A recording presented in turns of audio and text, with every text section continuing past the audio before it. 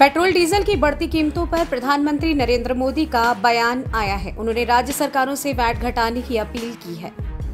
PM Modi ने कहा कि छह महीने लेट ही सही, लेकिन अब राज्य सरकारें तेल पर टैक्स घटा लें। पीएम नरेंद्र मोदी ने विभिन्न राज्यों के मुख्यमंत्रियों के साथ मीटिंग में ये बात कही।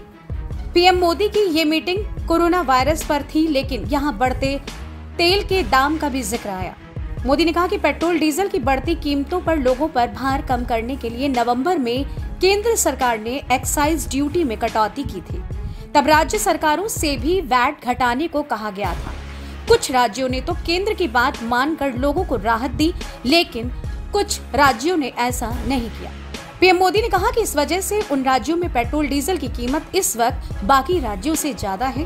पीएम ने कहा कि ऐसा करना अन्याय है, क्योंकि इसका नुकसान पड़ोसी राज्यों को भी होता है, क्योंकि लोग वहाँ तेल भरवाने जाते हैं। पीएम ने माना कि टैक्स में कटौती करने वाले राज्य को राजस्व की हानि होती है।